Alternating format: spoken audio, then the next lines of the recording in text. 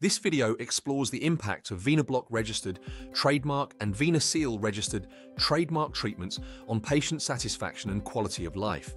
In studies, patients treated with cyanoacrylate ablation demonstrated significant improvements in the Venous Clinical Severity Score, VCSS, and Aberdeen Varicose Vein Questionnaire, AVVQS scores. In a study by Morrison et al., 84.7% of patients expressed remarkable satisfaction post-treatment.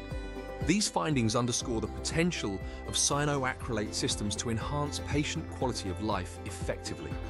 Understanding these advancements is crucial for healthcare professionals, patients, and stakeholders, as they reflect the growing trend towards minimally invasive treatments that prioritize patient outcomes.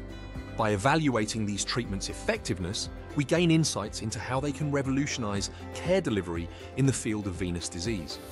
The content is based on a journal article by Rasit Dinc, linked in the description box below. Thank you for watching. We encourage you to subscribe to our channel for more content on the intersection of technology and healthcare. Together, let's shape the future of healthcare.